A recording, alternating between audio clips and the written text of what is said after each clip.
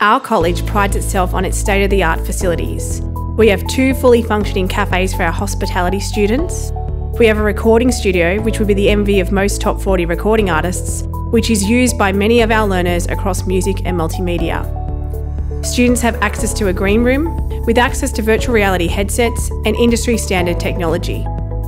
We have fully furnished wet and dry science labs and high end equipment in our college gym for our fitness students. Our creative and performing arts areas are fully equipped with the most current specialist equipment and high end performance spaces.